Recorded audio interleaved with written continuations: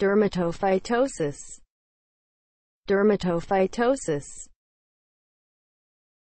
superficial infection of the skin, hair, and nails caused by dermatophytes, fungi that require keratin for growth. They are spread by direct contact.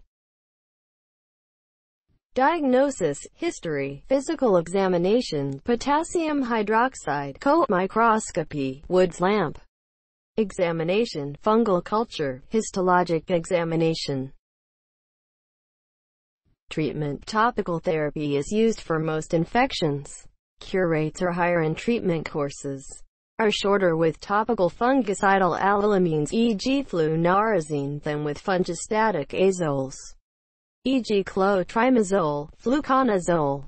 Oral therapy is preferred for tinea capitis, antifungal, griseofulvin, tinea barbae, and onychomycosis.